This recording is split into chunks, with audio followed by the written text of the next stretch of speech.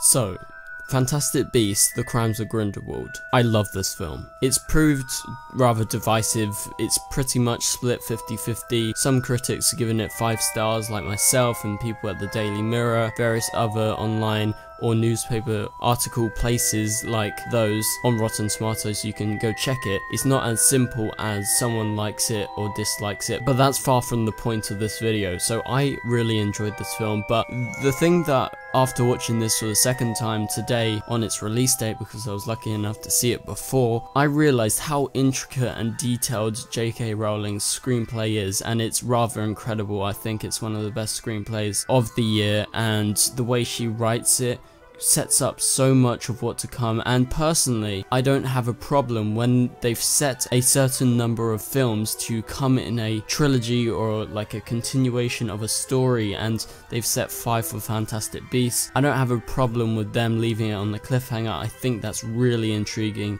makes me want to go back for more and I don't have a problem with it being open-ended. But obviously some people may take issue with that, that it should be one whole story, but I think the way JK actually writes and crafts the screenplay is rather intricate and it's all about Grindelwald's manipulation, that he is a master manipulator and throughout this entire story, if you go back and watch it more carefully the second time, you can see J.K. Rowling planting these words in Grindelwald's mouth and the whole time since the start of Fantastic Beasts 1, he is trying to get Credence to come to him and all of Grindelwald's plans come to fruition by the end of this film. That was the story arc and that's complete. So they've completed that. Now it's about Dumbledore and also the big reveal to do with the ending. And obviously Grindelwald's a massive thing still. It's going to be about like the three of them and then Newt and his friends in this third film and then fourth film and then fifth. We'll see how it ends the actual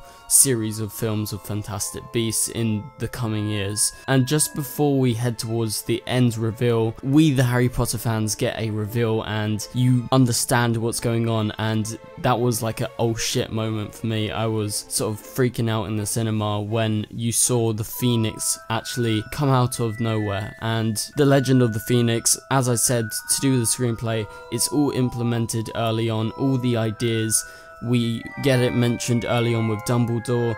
And so it comes to fruition and we see that a phoenix appears that in the legend a phoenix always comes to a Dumbledore and in this case it comes to Credence. And it's revealed at the end Credence is actually his birth name is Aurelius Dumbledore the long lost brother to Albus Dumbledore. So that was a major reveal. Essentially what's going on is he was lost when he was a child, he was sent on that boat that you see in the film and Leta Lestrange switched the babies over and Leta's brother actually died and drowned and in fact the baby she saved, they don't put much emphasis on it, but it's there in the screenplay, it's there in the visuals, you have to pay attention to it. She takes Credence and that is the baby, that is the Dumbledore. And in that scene, Grindelwald says, your brother is coming for you, and that was just before the ending. So I'm guessing by now he's realized that the blood pact that he has with Dumbledore has gone missing, the sort of vessel that it was in, and he knows that Dumbledore is going to be coming for Grindelwald, and that is the only reason why Credence was to come to Grindelwald in order to defeat Dumbledore because he knows if Dumbledore has the ability to fight Grindelwald, which he now does if he can destroy it, Grindelwald only really stands a chance if in fact he is backed by Credence another Dumbledore. So he has extreme power which runs in the family. And so that is like all I need to explain as in regards to the ending and the idea of how J.K. Rowling sets up every scene and sets it up via the screenplay. Essentially what these next three films are going to be, you know, the complete series of films of five they've said they're doing, which is very, very exciting to me because I'm a massive Harry Potter fan. Harry Potter is my favourite films of all time and I love these Fantastic Beasts films. I think I prefer The Crimes of Grindelwald, I think it's really, really well done. The five films are mainly about how Dumbledore became Dumbledore according to J.K. Rowling. Obviously, all of this is surrounding it. We're slowly building up to how everyone is in the future in Harry Potter, how Dumbledore becomes this wise professor And obviously in the film we get to see Professor McGonagall, which was a really nice touch. You sort of just freak out when you hear that name, and you even hear the voice, you recognise it, it's very similar.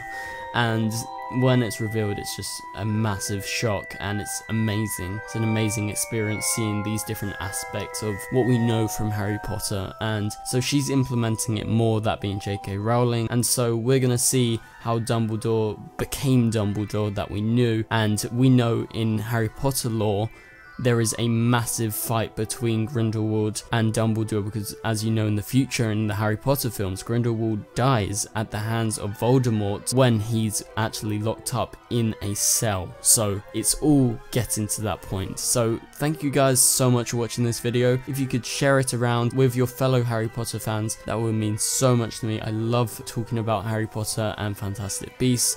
So thank you guys so much for watching and I will see you guys later. Goodbye.